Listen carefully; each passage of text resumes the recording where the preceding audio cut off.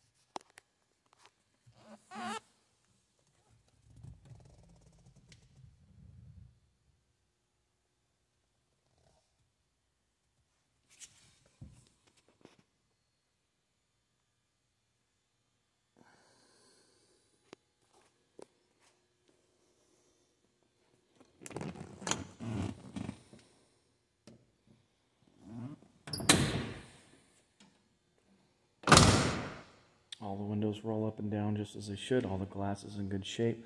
All the stainless trim around the windows is in excellent condition. Body is very straight. Panel fitment is excellent. And the car runs very strong. Give us a call, 913 461 4890. Thank you.